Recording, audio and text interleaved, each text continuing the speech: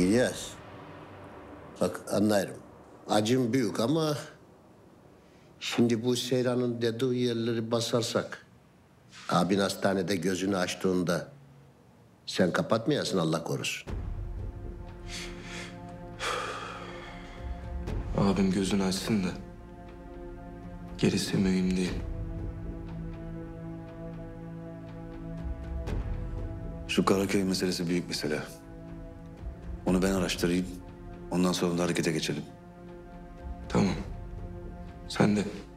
Eyvallah. Bu hapçıların toplaştığı kahvehaneyi dersen... ...onu da ben halledeyim istersen. Onu enişteyle Fahri abi halleder. Tufan abi. Sen şu hapların toplandığı yere git. Ya bak ben sana peşin peşin söyleyeyim tamam mı? Ben oraya gittiğim zaman bir tanesini sağ koyma. Öyle getir, konuştur. Benim işim olmaz öyle şeylerle. Zaten toza alerjim var. Konuşturulacak bir şey yok. Tam tersine. Kimseyi yaşatma. E güzel. Amca ben? Ben senin amcan değilim. Tanıştırayım Tufan amca. İstediğin dereceye ayarla. Donar mı, yanar mı orası sana kalmış. Anladım. Eyvallah. Bu Seyran ne olacak? O kim? Tekin. Ya adam belki bizi tuzağa gönderiyor. Doğru mu söylüyor, yanlış mı söylüyor, eksik mi söylüyor? Bari bir dinleseydik. Bildiklerini söyledi. Ama benim de senin gibi tozculara alerjim var. Doğruyu söyleseler bile. Tekin. Cesedini yarın sabah çocuklar İzzet'in evinin önüne atsın. Tamam reis.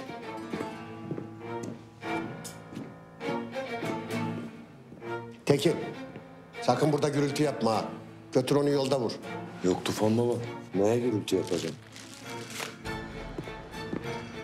Enişte anahtarı ver.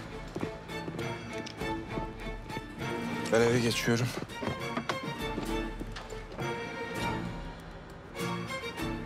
Yarın da sen güvenilir bir ekip oluştur. Tanıdığımız, güvendiğimiz ailelerin çocuklarından olsun. Tamamdır İlyas. İlyas. Sen tipiyle ateşi yolladın. Tufan'la Boran'la birlikte iş yapıyorsun. Bunlara ne kadar güvenebiliriz? Kimseye güvenemeyiz Fahri abi. Böyle bir şeye ihtiyacımız da yok. Verdiğimiz işi yapanlar bizimledir. Yapamayanlar değildir. Tipiyle ateş yapamaz mıydı diyorsun? Onlar abimin adamı. Eğer yapmazlarsa gereğini abim yapar.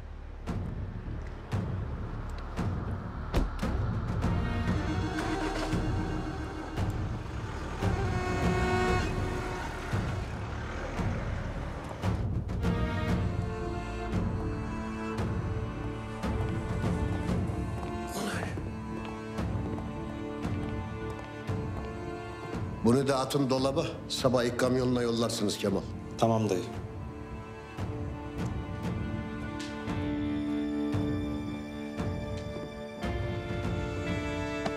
Sen de öyle boynunu bükme.